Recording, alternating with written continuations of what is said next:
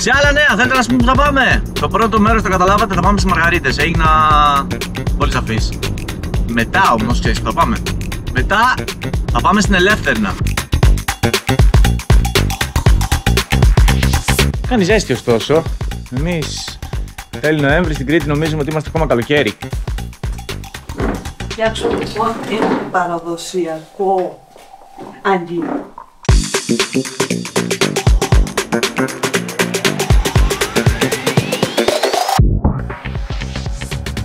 αγγί.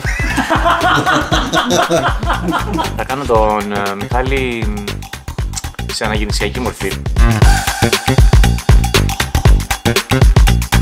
Στα διαδικαστικά τα νέα, η Ελεύθερη είναι μόλις τρία χωριά πιο κάτω από, την, ε, από τις Μαργαρίτες. Η διαδρομή, φαντάσου, το Απολώνιο Μονοπάτι ξεκινάει από το, από το χωριό.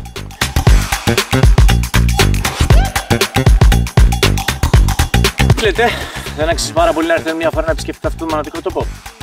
Σίγουρα ναι είναι η απάντηση. Καλά θα πάει αυτό με τον Πέτρο Ηλιάκη. Κάθε Σάββατο στις 7 και 4 στην Κρήτη TV.